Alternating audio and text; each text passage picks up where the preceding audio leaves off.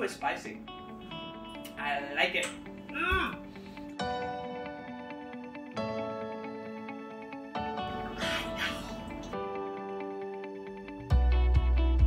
Carla Hall here. Today I am going to showcase the Muir Glen tomatoes with which are rich, complex, organic. I am going to make tomato, bacon, and olive biscuits with a Bloody Mary jam. It's going to be delicious, especially with these wonderful tomatoes. Black pepper, because any of anybody who loves Bloody Mary, you know that you have that black pepper. So black pepper, smoked paprika, salt, celery seeds, thyme, and a garlic, which I'm going to smash. A little bit of sugar because it's jam. And then horseradish, right? Horseradish, Worcestershire sauce, vodka, and pickle juice. All of the things that you love in a Bloody Mary. So as my pan gets hot, I'm going to do about two tablespoons of oil. Everything goes in. Look at that. Look at that. Add my tomatoes, and I'm going to pour them on the spoon so they don't splatter.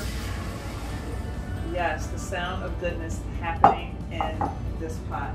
I have some sugar, and I have about a tablespoon of honey.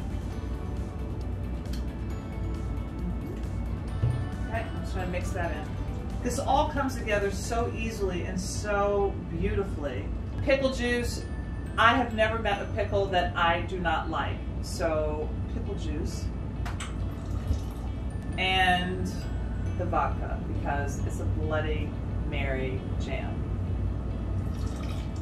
Oh my gosh, I almost forgot the hot sauce. What is the best part of a Bloody Mary but that spiciness? This is the moment of truth right now. So our beautiful tomatoes with all of those spices, they've cooked down. It's, it's taken about 30 minutes and so if you want um, a less chunky jam, then take a spoon, the back of a, a wooden spoon or a potato masher and just mash your jam. And then that big piece of garlic, I'm just gonna take, I'm gonna take that big piece of garlic out. I just set it aside.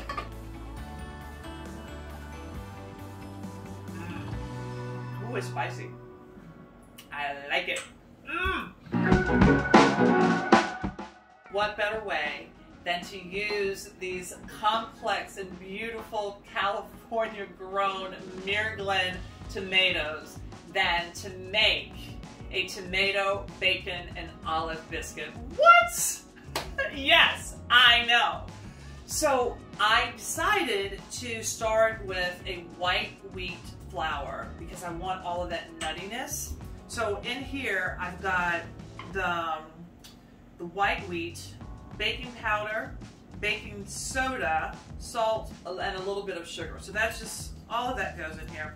And then I'm gonna add, again, pantry items, thyme and dried oregano. And what I like to do when I have these dried herbs is just pinch them in between my fingers, especially when I'm making biscuits. Oh, it smells so good, so delicious. All right. So the next thing is I'm gonna grate my butter. I have really, really cold butter and I roll the butter in the flour so that if you have hot hands, then don't worry about your hot hands because the, the barrier will be the flour. So just a regular box grater. Just great. Okay. Once I get through half of the butter, toss it in the flour, make sure that the little shards that we just created separate. I just sort of press the butter pieces to make them flat. I have here six pieces of bacon, it's thick cut. I use the bacon that I know isn't really salty and I went ahead and chopped it up. I also have a mix of green and black olives, some boiled cured olives, because again, we're working with all of those complex tomatoes and these beautiful Muir Glen tomatoes. And I thought that the celery would go really well. So I cut up some celery and I sauteed them in a pan until they were translucent and but still a little bit of bite. So all of that goes in. Yes. It's gonna be so good. this is where the tomatoes come in. So I'm using the tomato sauce and there are all of these complex flavors in with the tomatoes, like garlic powder. So that goes in here. That's the tomato sauce becomes part of my liquid. And if you have never had buttermilk with tomatoes, the acid works beautifully. Now, I have, um, because I made bacon, I have bacon grease. So instead of shortening, I'm going to use uh, two tablespoons of bacon grease. And here's a trick. Now normally I might put my shortening in in the dry mixture and work it in with my hands, but I'm going to add my fat to my tomato buttermilk mixture and I'm going to whiz it up with an immersion blender. And so I'm going to have this beautiful fatty buttermilk with the tomatoes. If you don't want to use the bacon fat, you can use shortening. Um, if you want to use oil, you can. You won't have that same richness, but you will still have a delicious biscuit. So I make a well in my dry mixture. Then I pour in the wet. And this moves pretty quickly. So I like to work with a rubber spatula because I do these hash marks bringing in the wet, right? Turn or two. Just make sure that everything gets all mixed in, but not over mixed. That's the secret to great biscuits. You don't want to over mix them. So here's another secret. I coat my surface with oil. Okay. Then I take my bench flour and I put that down. And wherever the oil is sprayed, the flour sticks. And that keeps you from taking up all of that flour with the wet biscuit dough.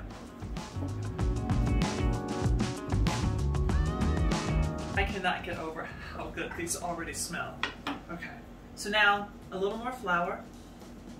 Now I just roll my dough so that it's not sticky on the outside, right? Pat, pat, pat, pat, pat. And I have my little bench scraper here, and I can make these little turns, fold. Wherever I see a little bit of wetness, I just sprinkle a little more flour, but not too much. We don't want to add too much flour. Okay, turn, 90 degrees. Another turn. You see, I did that letter. What's happening is all of those shards of butter are sort of interlocking and creating layers.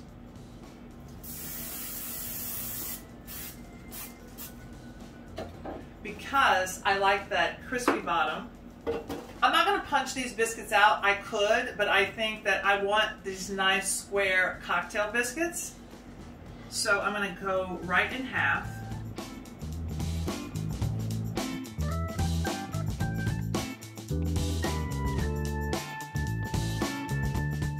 So let me show you how I'm going to top these.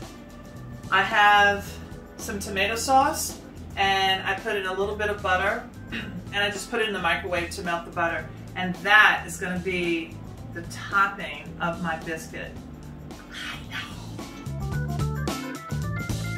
So now I finished them with a little bit of coarse black pepper. My oven is at 475. These are going to bake for 10 minutes and just wait for it. Look at these beauties. I mean, come on. Yes, Mary Glenn.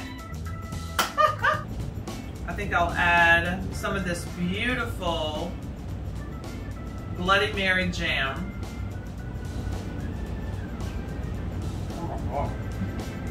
Tutu Hampaka Uga. If you don't know, that's me tooting my own horn. Mm, these are so good. Okay. Mmm.